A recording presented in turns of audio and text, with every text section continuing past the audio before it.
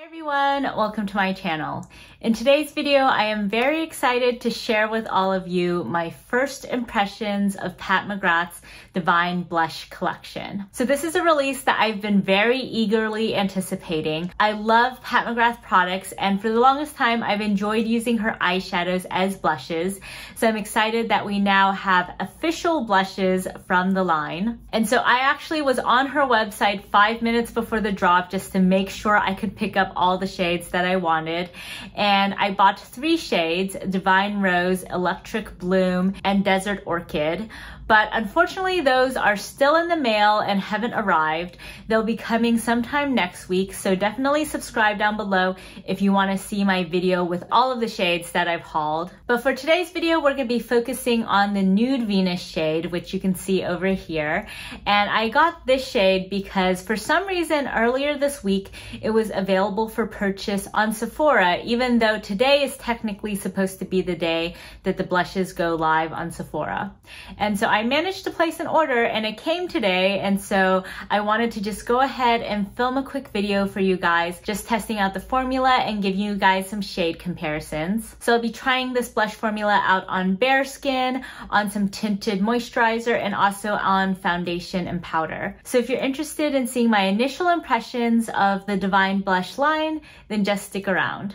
So first off, let's just go over the packaging. So these blushes come in these really beautiful lavender lilac boxes with a gold trim. And then the blush compact itself is in her black lacquer packaging. As you can see here, it's much smaller than her eyeshadow palettes. And also it says Pat McGrath Labs instead of having her logo. And then interestingly, this package has a snap enclosure instead of her typical magnetic enclosures. So you have to press a button in order to release the clasp. And then of course you have a lovely mirror and the blush itself has this beautiful, beautiful embossment of roses and these sun rays. I would definitely say the overall packaging of this blush is not super impressive coming from Pat McGrath. I really do wish it was a magnetic enclosure and that the outer packaging just had a little bit something more to it to make it feel a little bit more luxe but the embossment itself is beautiful. So I think that's definitely the most attractive feature of these blushes from a packaging perspective. So now let's get into these swatches. So here's a finger swatch of the blush and here is an arm swatch. So for this blush collection, she came out with two formulas, one which is demi matte and one that has more of a shimmery finish.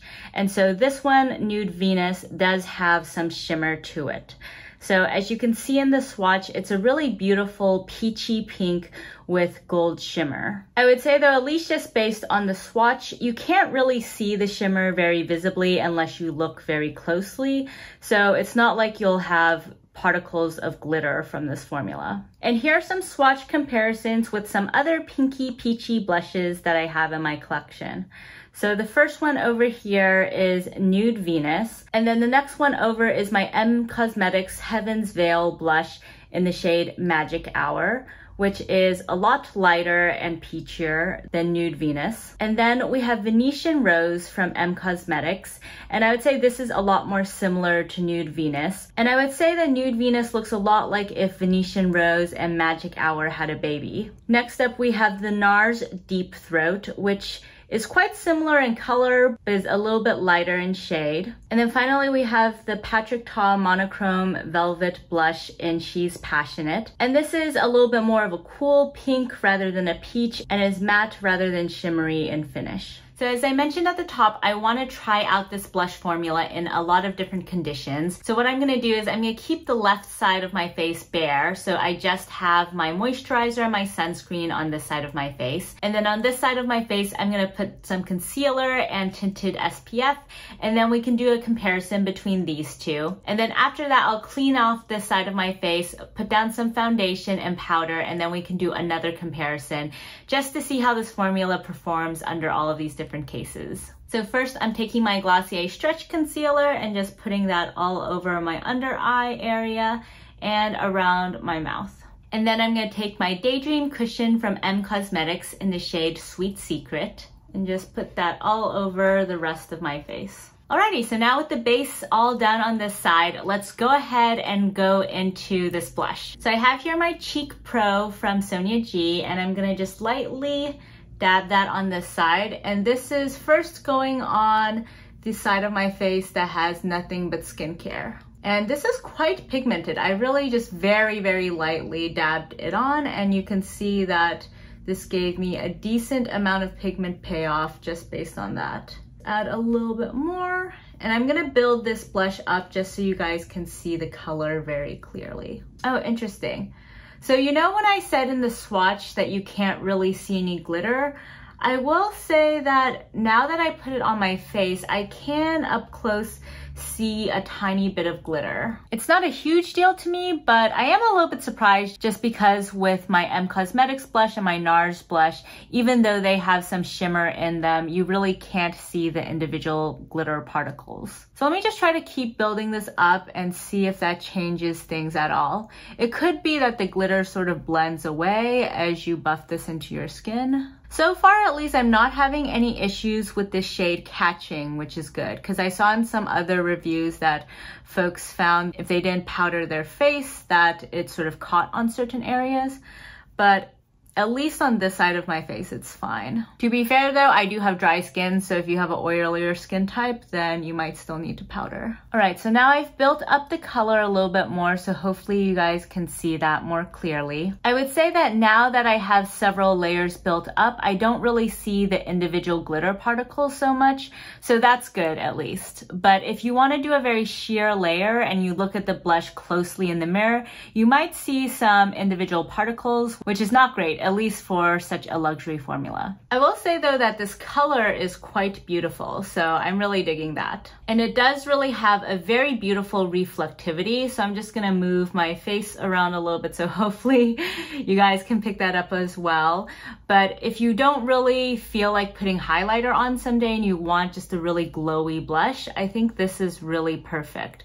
It adds that beautiful golden luminosity to your face. Alrighty, so now let's try it on this side. You guys saw that I put on the tinted SPF and concealer not that long ago. So this side might be a little bit tackier and thus a little bit harder for the blush to evenly blend out. So let's test that out now. Going in with that same brush, I'm just going to Start again lightly. Interestingly, this time I feel like it's much more buildable. Maybe it's just because I learned from the previous side not to pick up so much. Alrighty, so far so good in terms of blending out. I don't see any sort of catching, which is great. Alrighty, there we go. So I've built this up quite a lot. I'd say that this side looks a little bit more shimmery than this side, so it's interesting. I guess maybe putting this on top of some product does change a little bit how it appears. Like on this side, I didn't really have any of that problem with the glittery particles being very obvious when I first put it on. And now that I've built up both sides, I feel like this one still has a little bit more sheen to it. So maybe as this product has mixed in with my Daydream cushion, the shine has dullened a little bit. Overall though, this is a really beautiful romantic shade. I am really pleased with this first impression actually because I had extremely high expectations for these blushes because I'm such a huge Pat McGrath fan and also because I love using her eyeshadows as blushes. And then some of the initial reviews I watched as I was waiting for my package to come in the mail really made me a little bit worried because I feel like the initial reviews have been kind of mixed but so far so good in terms of this initial impression. I was really worried that this would be kind of like my Surratt blush where it's sort of creamy and powdery and in practice kind of sticks to any sort of base product you have. But at least for this shade and today's application, it's been totally fine. Really, really smooth, really beautiful, and just such a lovely sheen. And with the shade built up on both sides, I feel like I don't see any issues with the finish. It's a really beautiful, smooth, shimmery finish. So none of that glitter particle effect that I was getting when I first applied it. So now let me just go off, clean this side of my face, and then we'll be back to put on foundation and powder on this half of my face. So I went ahead and cleaned this side of my face, added some sunscreen back on. So now we are ready for foundation. So since we're just doing half of my face, I thought it'd be fun to just try out a foundation sample. So I have here this card from Gucci, which includes a serum and a couple foundation shades. So I'm just gonna take that serum primer and just sweep it all over this side of my face. I don't know about you guys, but I feel like whenever I get these things as free samples from my Sephora order, they usually aren't enough to really give me a full face. And so I figure this is good given that I only need half a face. And this is a very, very pungent primer. It really, really smells like perfume. So if you don't like fragrances in your makeup or skincare products, then definitely steer clear of this guy. It does feel very nice on the skin though. Nice and hydrating, slightly cooling. And then for the foundation, I'm just gonna try this one over here, which is in 220N. So I'm just gonna use the cushion from my Em Cosmetics Daydream cushion and just sweep this all over. I feel like this is a decent enough shade match maybe a little bit light for my forehead, but it's okay. I'll just sheer this out and we're really here to try out the blush anyway. And the foundation also has a really strong fragrance, so just be wary of that. The foundation does feel very nice on the skin though. It's basically a pretty light medium coverage, I would say, and it has a really natural finish. So now I'm just gonna also go in with my Pat McGrath concealer, which has a lot more coverage than the Glossier one and just put a little bit of that in my under eye area and also around my mouth and nose. And now to set all of this, I'm gonna go in with my Charlotte Tilbury face powder from the Look in a palette and take my Rephr number five brush and just sort of sweep this all over just to lightly set the base. There we go. So now that this side of the face is ready to go, let's go back in with this blush. So with the same Cheek Pro brush, I'm gonna go in and just sweep this all over the cheek area. I will say that initial application actually stuck a little bit more than the previous applications.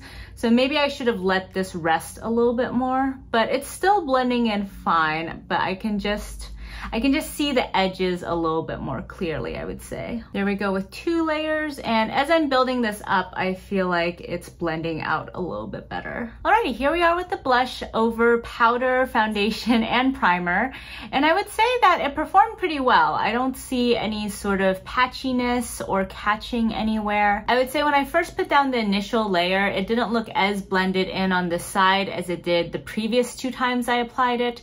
But as I built up the product, it just further blended out and now I feel like it's really, really nicely melded into the skin. So now before going into my overall review of this product, I did also just want to put this all over my eyes because I think that can also be quite helpful just to get a better sense of the formula and the shade. So I'm gonna leave this eye unprimed and then on this side, I'm gonna go in with my Urban Decay Primer Potion just to see how it performs on top of primer. So first with my blend brush from Chikuhodo, I'm gonna go in on my unprimed eye side and just put this in the crease area. All right, so since it's a blush, it's starting out a little bit light. That's understandable. This does just have such a beautiful reflectivity to it. And now with the eyeshadow brush from Chikuhodo in their Z line, I'm gonna use this just to pack on more pigment all over my eyelid, just so we have that opacity. And then I'm also gonna take a little bit on the tip just to run that under my lash line. Alrighty, there we have it on the unprimed lid. And I would say that it went on very nicely and I do think it might crease over time because I am feeling like it's already starting to crease a tiny, tiny bit but that's to be expected given that's a creamy blush and this is an unprimed lid but it does look really beautiful on the lids. It has a remarkable amount of shine for a blush and so in that sense I think it translates well on the eyes but it doesn't have as much pigment to shine as you would expect from an eyeshadow. So in that sense, you're not gonna get a ton of color payoff unless you build it up quite a lot. Now let's go into the primed side. So I'm gonna go back in with my crease brush and see if the performance is any different on this side. So I definitely think it looks slightly more vibrant upon initial application on this side. So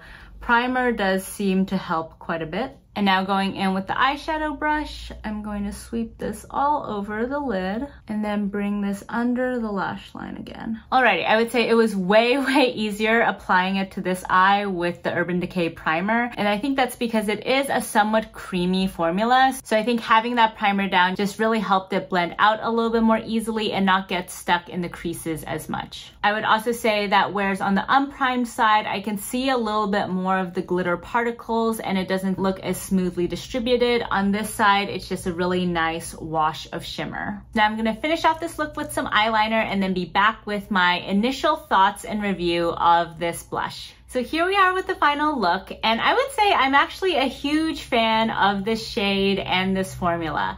I'm actually quite pleasantly surprised given all of the mixed reviews I've been hearing, and I actually originally was not going to pick up Nude Venus because it was probably the least unique shade of all of the shades in this collection, and so the only reason I picked up this shade was because it just happened to be the one that was available on Sephora earlier than expected, but I'm really glad that I picked this up because it's just such a beautiful romantic shade that I think you could use a light wash of for an everyday basis or build it up like I did today to have just a really beautiful pinky peachy summery or spring hue on your skin. And I'm also digging the overall monochromatic look that I have on today. So it works really nicely as an eyeshadow. And today I have my Em Cosmetics lip cushion and magic hour on my lips.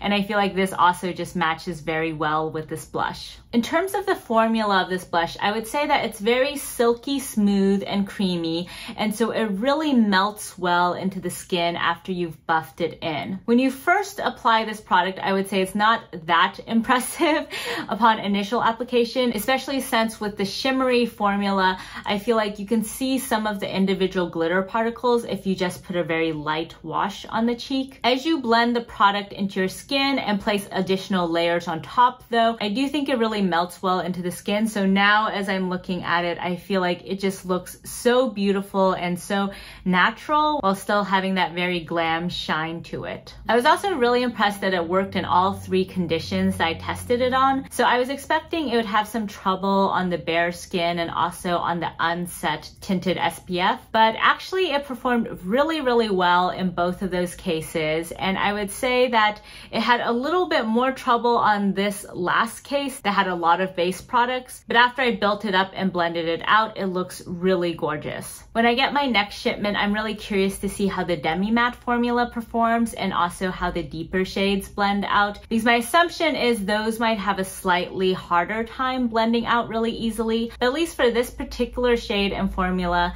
I have had no trouble and I think it's just such a gorgeous product. So that's it for today's video. If you guys like this video, then please give it a thumbs up. And if you haven't already, please subscribe to my channel. Thank you all so much for joining me and I'll catch you next time. Bye.